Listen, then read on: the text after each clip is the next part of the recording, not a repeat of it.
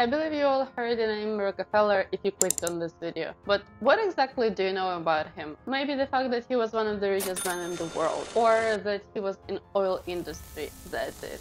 It is what I knew. But after reading one of the book on psychology, he was the example for one of the chapter. At the beginning, I was like, okay, he's in oil industry, got it. And by the end of it, I was like, wow, what a strategic thinking. One man that outplayed every competitor possible. That piqued my interest and I wanted to know more, dig deeper, so I did. That's how I ended up reading book Titan by Ron Chernow. This book still surprised me in so many ways, so I'm excited to share with you the most interesting part of his life, some lesson on business or approach to life that we can take from the book. All the chapters in this video will be in chronological order, so let's start with his childhood. The first 50 to 60 pages of the book all about his childhood, his parents, and the place where he grew up. But if I have to describe his childhood in one sentence, it will be hard times create strong men and good times create weak men or in the words of author John Rockefeller's upbringing would be fertile with cautionary figures of weak men gone astray.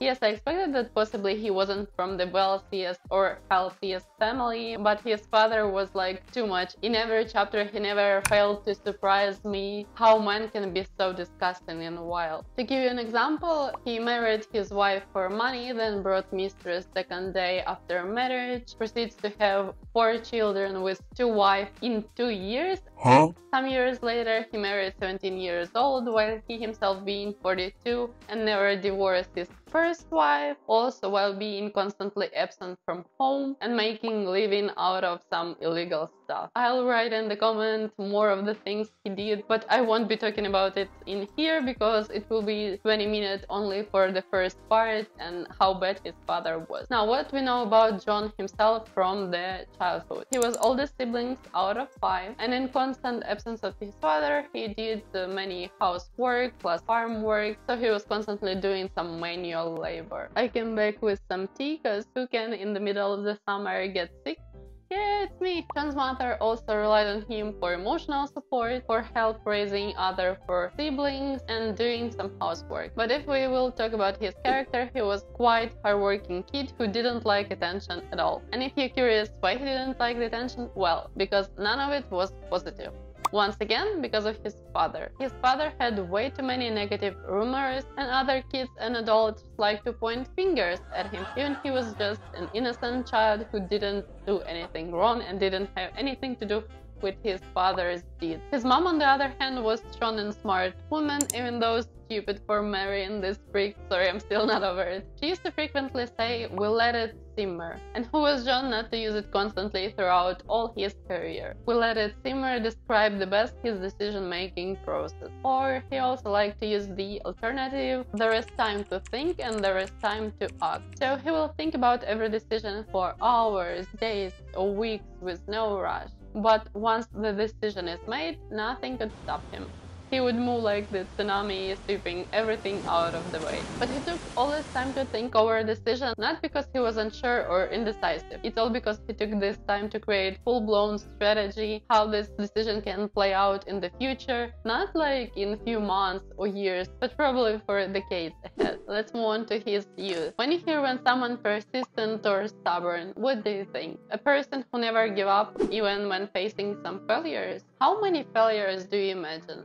5, 10, 20 more. But I believe there is hardly a person who can beat 16 years old John who was looking for, for his job. It's 1850s and you're a 16 year old country boy with some basic school education looking for a job in a big city. No one wanted to hire him. For about three months he would go from one door to another and ask for the job. And then the list of the companies will end and he will give up.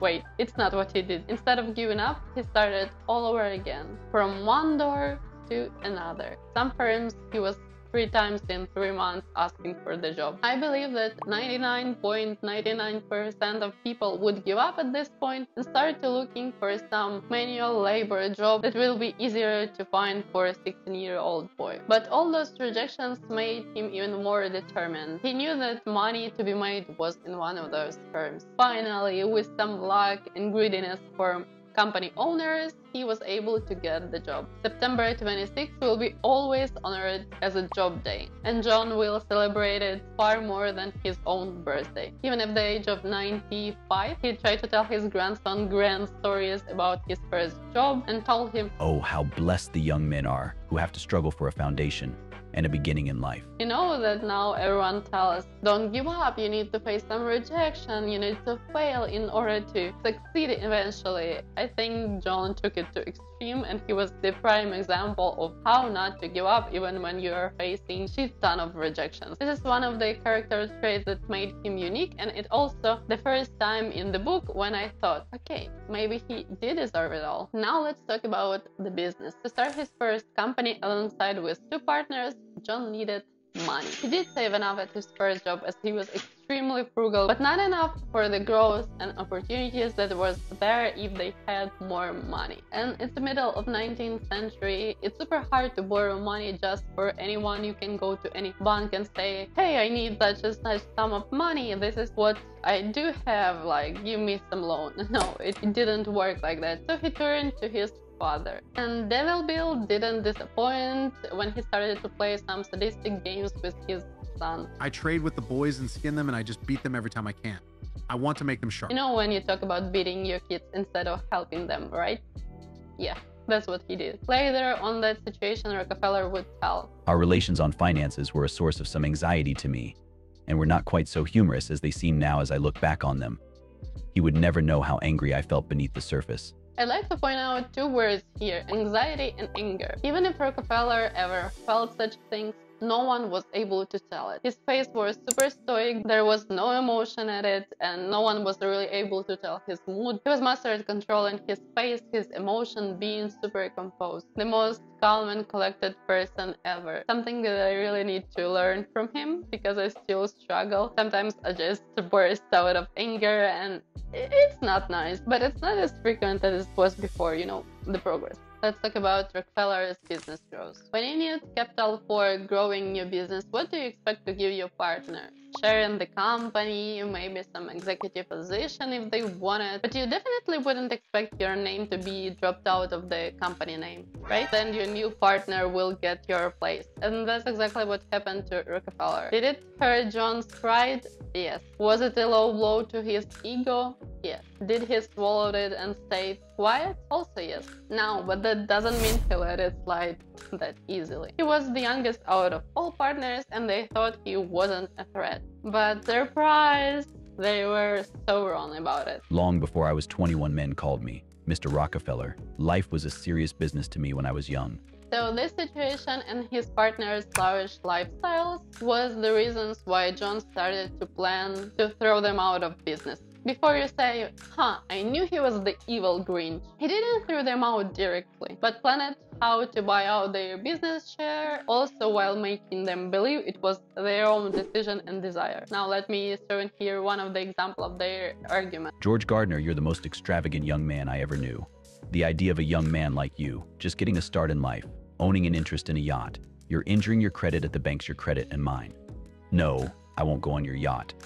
I don't even want to see it. Other arguments were about the loans. Don't like to take them to grow the business, to acquire the biggest share of the market possible. He was a risk taker, he was a big believer in his company and in the business growth in the future. His partners weren't so much. Clark was an old grandmother and was scared to death because we owed money at the banks. So he used this knowledge as a tool to manipulate them and want to quit the business. If that's the way you want to do business, we'd better dissolve. Playing right in the Rockefeller trap. The next morning, when they saw that John was serious about it, serious about dissolving, they was like, wait, are you serious? And he was like, yeah, I'm serious. I don't want to do business with you. The last part wasn't said, even though he probably did think like that. He paid a big price for his freedom. It was like $72,000, which in today's money will be $1.4 million.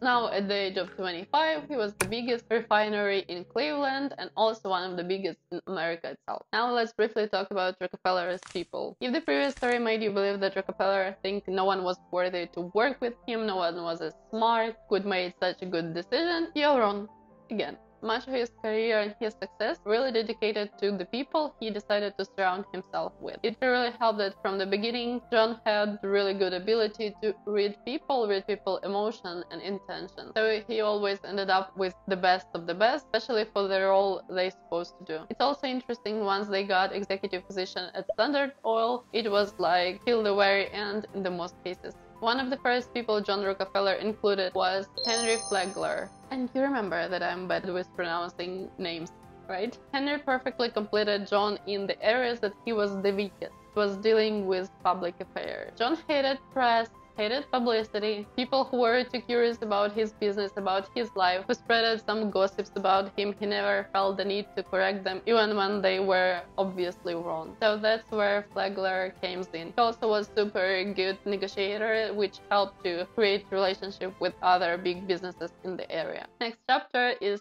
rise to power. Many of Rockefeller haters will say that he climbed to power and extreme wealth through rebate or simply discount rate. Let's see what they all are about. Imagine that you are the biggest supplier of some product, so you do provide the most work and revenue to the logistic company that you are working with. You have the market power as their biggest partner. This is what gives you upper hand in negotiations, especially if there is like two other logistic companies who are perfectly capable of doing the same thing. Now you have two strong points in negotiations with your partner. And of course, if you want to make more money or to make your product cheaper, you will ask for a discount. That's basically what Rockefeller did with railroads, if we put it in simple words. They had better rates for almost all the time of their business. At that time in American history there wasn't a law that prohibited such rebates, and everyone who was strongly judging him for it at that time would have done the same if they had the power. His competitors did try to get the rebates, did try to unite against Standard Oil, but nothing seems to work out for them in the end. To think about it, even if we leave behind non-existent law at the time, I don't even see anything morally wrong with it. That's basically economy of scale. The more products you buy, the cheaper it is. It's like everywhere on the market and it's still alive in so many industries. So I wouldn't say, oh, it was so unfair. Nobody stopped you from getting your base, from getting bigger market share, so you will have the power to say something. As you see, I don't agree that rebates are solely responsible for his well, I'd rather say it's his strategic thinking, vision, risk-taking, being calm and collected in time of chaos that played far bigger role. When oil prices fluctuated from up and down, there was no stability on the market because there were too many competitors, but also on the other hand, there was this fear that oil will run out. So the prices were super high, super low, no stability, and most of the time doing this business weren't profitable for all the companies. The invisible hand of free market economic concept that basically means free competition will be good market regulator. Surprise, surprise! Real business doesn't work exactly like in textbooks. The refineries were losing money and they still hold on to their companies for the longest time.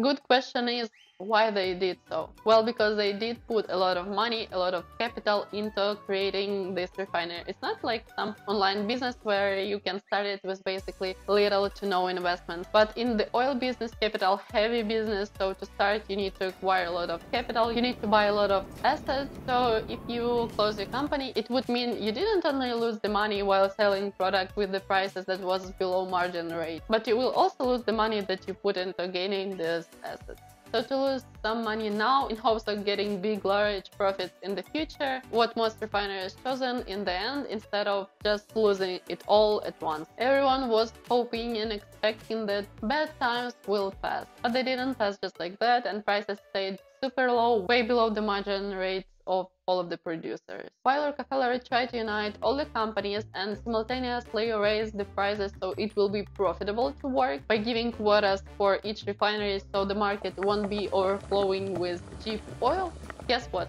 No one tried to stay within those quotas. They saw it as a quick big cash grab and tried to sell as much as possible resulting in prices going down again. It led to Rockefeller's decision plus desire to unite everything under the Standard Oil. It also proved his belief that producers weren't the smartest people and they only care about getting quick cash, quick profit, instead of worrying about the future of the industry itself. Cleveland Massacre. Let's talk about it. That was the name for Rockefeller's takeover of the refinery business in Cleveland. In short, he bought almost all of his competitors by giving them either cash or company shares. He also was super upset when the refineries will choose cash instead of shares because he did need to have this cash on hand to buy another refinery and the shares were better decision for him at the moment. But almost no one was really going to take shares in Standard Oil, they were just going to take the money and it proved that those refineries didn't truly believe in the future of the industry in oil refinery business if they just were happy to take the cash.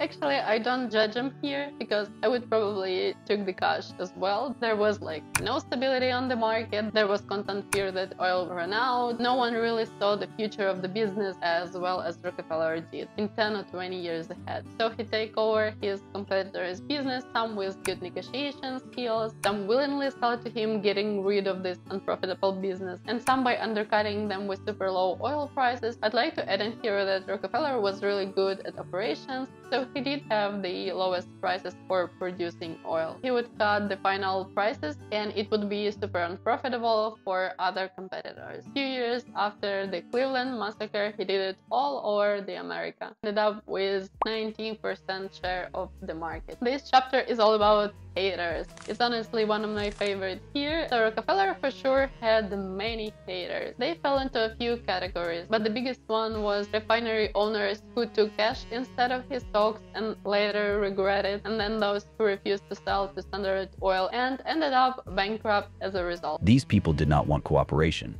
They wanted competition and when they got it, they didn't like it. Then one of the most famous hater was Ida Tarbell, some kind of journalist of the time. And guess what? Right, her father's company went bankrupt because he refused to sell to Rockefeller. And it really crushed him and he started to drink and turned into an alcoholic. So Ida Tarbell thought, right, it's time to hate Rockefeller all my life. Like, really? So she was biased towards hating Rockefeller and she glorified every other man who tried to stand against Rockefeller, who was his competitor or other hater. So every other refinery in her book was ruddy and joyous men who were crushed out by Standard Oil. Rockefeller was venomous monster in the garden full of flowers.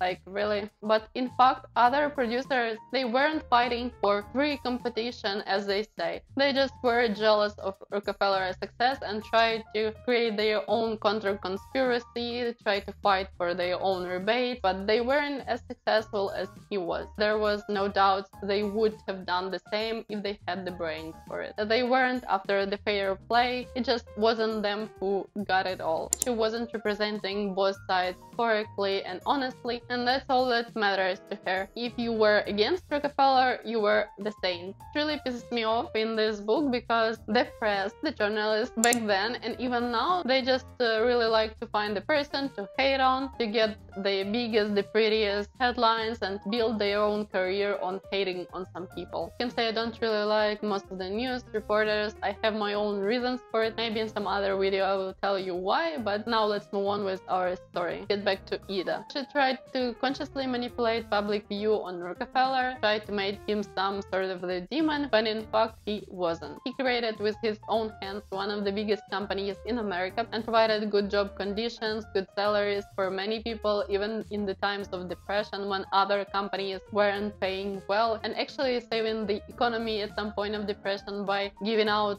loans for other companies that were on the verge of bankrupt. So much so that he provided money for JP Morgan because because he was also at the verge of collapse. And just like that, because of her father, she felt the right to portray Rockefeller as some sinister, evil man. There was other big example of one of his haters who also lost his company because he refused to sell and he didn't win against Rockefeller. At every dinner meeting with friends, with different people, he always brought up Rockefeller, how he is smarter than him, just Rockefeller is more sly, so that's why he win, not because he was better. Haters in the book made me realize, oh my god, how pathetic it is to spend all of your life actively hating on somebody. Imagine living all of your life and when somebody asks what it was about, you say another man's name. So now I judge even harder those people who actively hate on celebrities, any famous person without knowing them whatsoever. Now let's discuss what was the main negative thing about Rockefeller's company. All the negativity come from actually one place, that it was a monopoly. Or more like consideration, but for simplicity we'll use like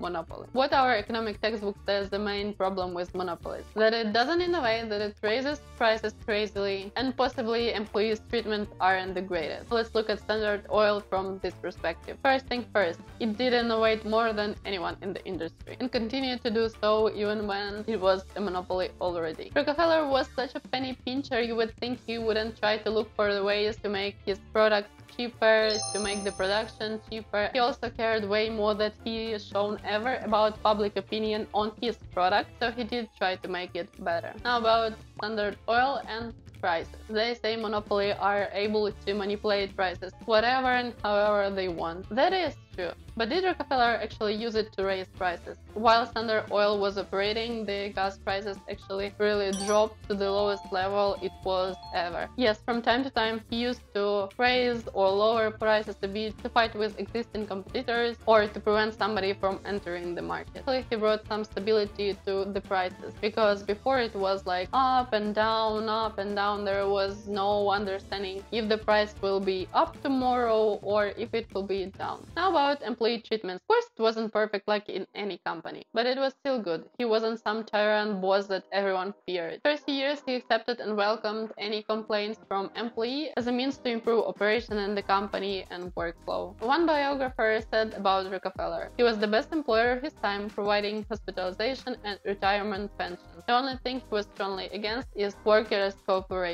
Also, the interesting part here, he was one of the first who started giving his employees shares of the company. I would have every man a capitalist, every man, woman, and child. I would have everyone save his earnings, not squander it. Own the industries, own the railroads, own the telegraph lines. So he really cared about his people and wanted to make them rich.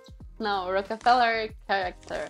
First, he was super ambitious, which is given, there is no denying to that. But there is also no explanation to it, I think he was born with it. Or maybe there is some reason, but we just don't know about it, and we will never know. Second, his discipline, belief, and faith was unmatched. He believed strongly that it was his life purpose to bring stability to the market, stability and prosperity. He was also super assured the best believer in his own company, in his own work. That's why he always bought more stock, also why he took crazy loans to develop the company. Much of his discipline, focus and belief came from religion. His father was happy-go-lucky charlatan and that turned John into religion even more. Rockefeller really believed in Baptist doctrine, never touched alcohol, cigarettes, never went on dance clubs, and all this Gilded Age entertainment was so far away from him, he never was interested in it. I guess he just tried to put as much difference between himself and his father as possible, and this was one of the ways. Instead, he believed in hard work, frugality, helping others, and God's mission on earth that was given to every man. He did work hard, but it didn't mean he worked long hours. He was actually retired in his 50s already, while he lived